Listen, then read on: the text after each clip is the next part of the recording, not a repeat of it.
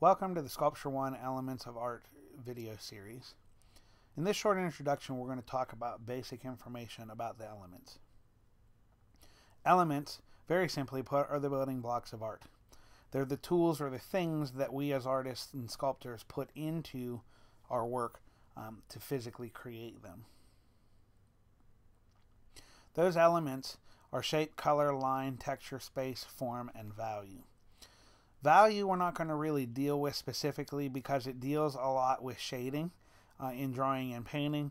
And since we're working with three-dimensional objects, our value is actually going to be created by the dimensionality.